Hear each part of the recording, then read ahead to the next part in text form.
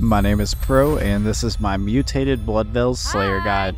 This is a very good task for XP, and you will make some GP even though you use a lot of cannonballs. You're going to want 60 in your combat stats and 43 prayer to protect from melee. They are weak to everything, so just use whatever skill you want to train. I will be doing melee. You could train range with a Venator bow, and it's a lot quicker, but I have 99 range, so I need to train melee stats. They're going to drop a lot of blood runes and alchables, so I would bring high alchs. They will also drop hard clues. I will be bringing the Osmumten's Fang, the Bonecrusher necklace or Bonecrusher, Barrow's gloves, Dragon boots, Berserker ring imbued, Proselyte body and legs, Dragon defender, Rada's blessing, Fire Cape, and the Slayer Helm. If you're not on a Slayer task, you can use the Neitiznot Helm. And if you want to change the Osmumten's Fang for a whip, that is fine as well. You're going to want to bring a Super Combat or a Combat Potion or Divine Super Combat. Six prayer pots, more or less depending on your prayer level and prayer bonus. A cannon, Vyre Noble outfit with a necklace.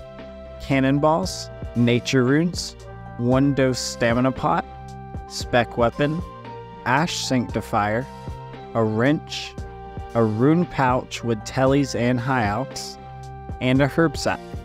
The fastest way to get here is by using the Drakan's Medallion to teleport to the Theater of Blood. Take off your Vyre Noble outfit, and then you're going to talk to the vampire dude by the bank on the other side.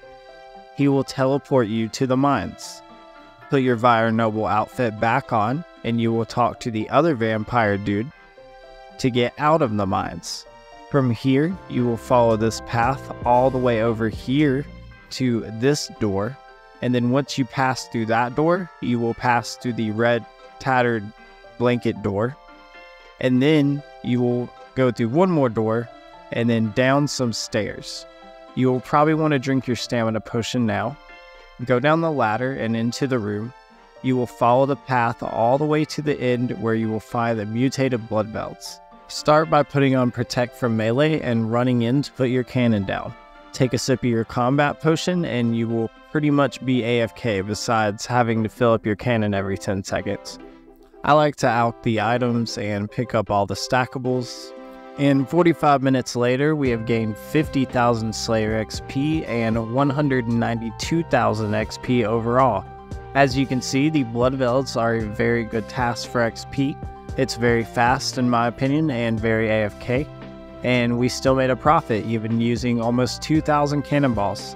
We have made 337k GP.